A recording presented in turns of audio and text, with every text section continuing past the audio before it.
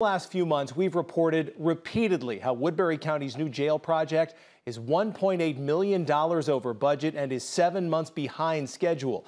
But who officials hold responsible for that delay is now coming into sharper focus. KTIV is digging deeper after speaking with Mark Nelson, a Woodbury County supervisor and a member of the three person board overseeing the project. While officials have not yet filed any legal claims, he says the project's general contractor and architect deserve the lion's share of blame. Here's KTIV's Matt Hoffman.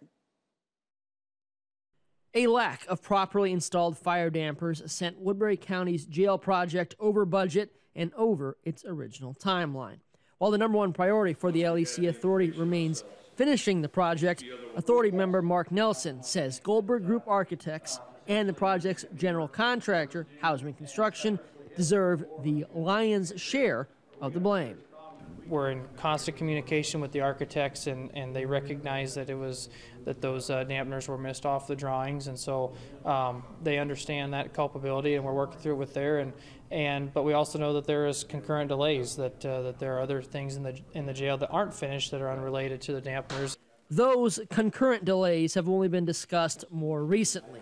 On September 12, 2023, the authority announced the project would be delayed with almost all of the discussion focused on the fire dampers and security bars on some ductwork. Then, on October 10th, 2023, a spokesperson for the construction management company said an elevator control room was not properly installed. So the concurrent delays, there, there are other parts of the of the jail that are still under construction that have nothing to do with the fire dampers. According to documents we obtained through an open records request to the Sioux City inspector and fire marshal, other issues were discovered during an inspection in June of 2023. Those documents show the inspector disapproved inspections for an electrical permit after grounding wires for data rooms were not installed.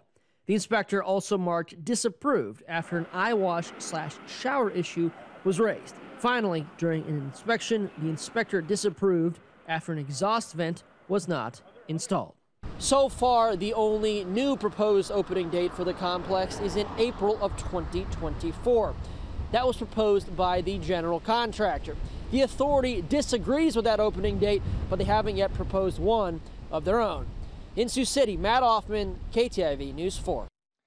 Nelson also defended the authority's decision to extend the contract of the Baker Group, the construction management company. That's despite delays and conflict of interest concerns. Todd Wieck, the son of the LEC Authority Chairman Ron Wieck, is the on site manager of the project. Nelson says he's asked Ron Wieck to recuse himself from any future votes on the Baker Group's contract. According to Nelson, the LEC Authority had no control over the company's decision to hire Todd Wieck, and his job performance has been fantastic. Now, we asked the LEC Authority for a copy of its conflict of interest policy, but a lawyer for the authority says the group doesn't have one though its members do follow state law when it comes to conflicts.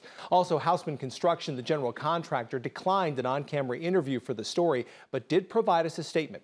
You can read that full statement on our website at ktiv.com.